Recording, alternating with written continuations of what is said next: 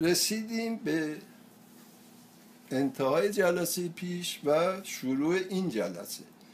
قسمت دوم این داستان عنوانش است ظاهر شدن فضل و زیرکی لغمان پیش امتحان کنندگان.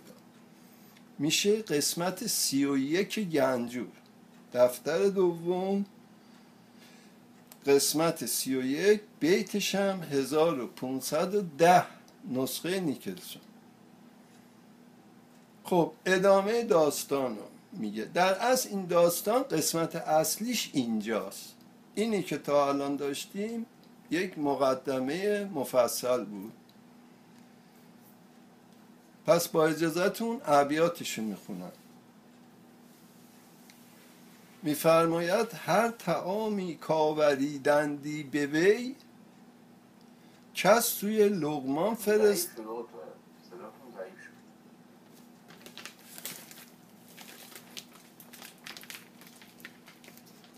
الان خوبه؟ بله بله. بله ببخشید. من این کتاب رو هل دادم مثل این که رفت رو میکرو. هر تعامی کاوریدندی به وی کس سوی لغمان فرستادی ز پی. تا که لغمان دست سوی آن برد. قاصدن تا خاجه پس خوردش خورد. ادامه داستان به این صورتی که میگه این شاه وقتی میشست غذا بخوره هر تعامی هر غذایی که براش می آوردن کاوریدندی به وی این یه نفر میفرستاد دنبال لغمان می‌گفت برید لغمان بیارید. کس سوی لغمان فرستادی ز پی تا که لغمان دست سوی آن برد. می‌گفت برین لغمان بیارین اول لغمان بخوره. قاصدن یعنی این کار رو تعمدن انجام می‌داد. قاصدن تا خاجه پس خوردش خوره. می‌گفت اول لغمان بخوره پس موندهشو من بخورم. سور او خوردی و شور انگیختی. هر تعامی کو نخوردی ریختی. سور میشه پسمونده غذا یا شراب یا چای تو ظرف. حالا این که دیدید از غذا یه چیزی میمونه یا از نوشیدنی یه چیزی میمونه. این میگه سور میگه این شاه حتما می‌خواست پسمونده لغمان رو بخوره. می‌خورد و شور پیدا می‌کرد شور انگیختی. و هر غذایی که او نمی‌خورد میریخت دور. این هم نمی‌خورد شام نمی‌خورد. خب چی داره میگه مولانا؟ عرض کردم که این شاه و این لغمان الان نماد دو مرکز در ما هستند. و اینکه هر چی ما می‌خوایم بخوریم باید ببینیم که اگر لغمان ما لغمانی که در درون ما هست اگر او بود این رو می‌خورد یا نه؟ حالا غذا مطلب نیست. عرض کردم خوردن در مصنوی همیشه به معنای توجه گرفتن چیزی از دنیاست.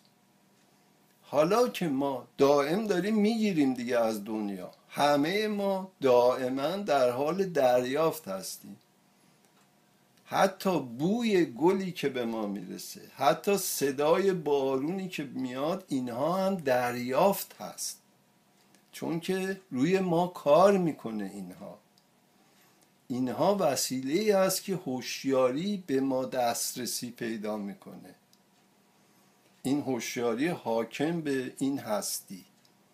خب خیلی چیزا ما فکر می‌کنیم به ما عرضه میشه و عرضه هم میشه. حالا ما می‌خوایم یه چیزی برداریم از این هستی.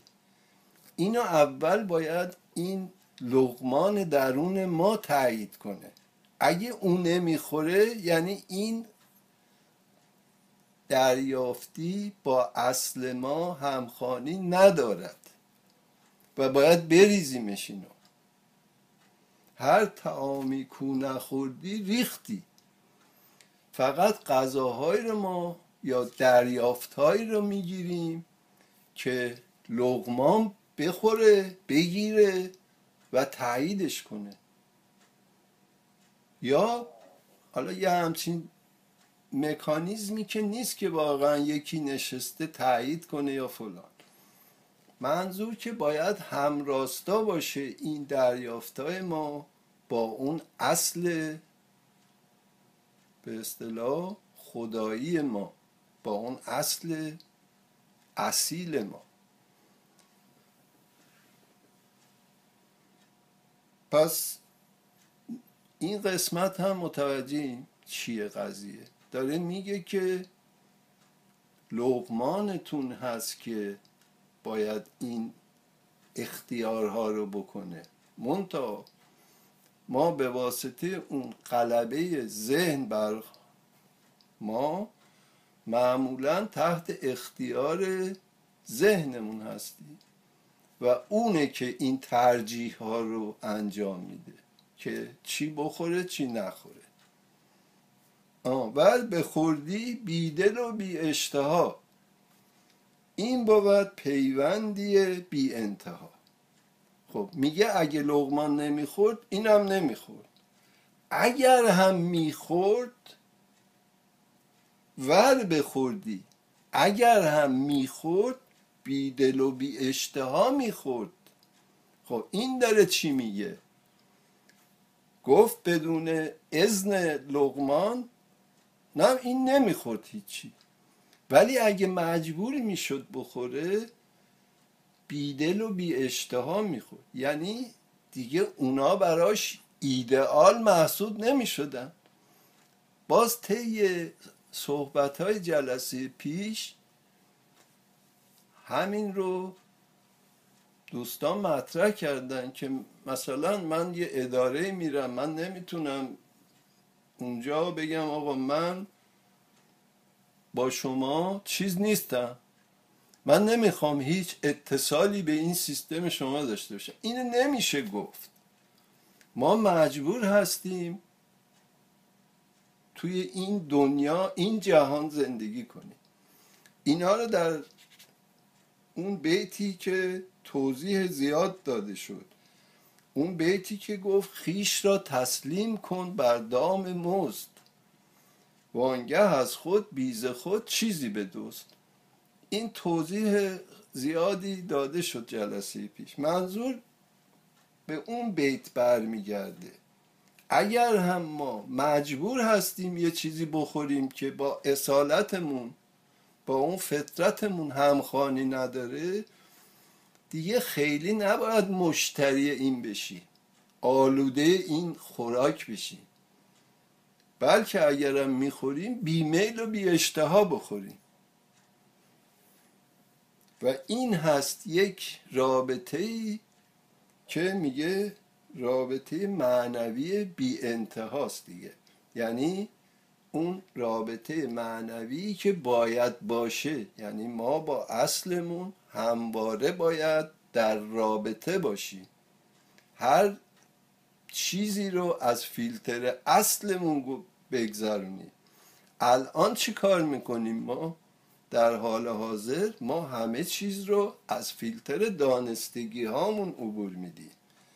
اون چیزهایی که خوب و بد می‌دونیم ما